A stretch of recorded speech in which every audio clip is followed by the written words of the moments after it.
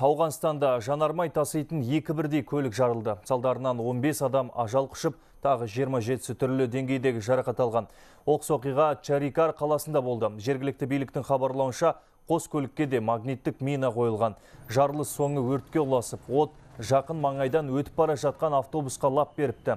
Бұл сәтте оның ішінде кемі 50 жолаушы отырған. Әзірге ешбір топ болған оқиғаны мойнына алған жоқ.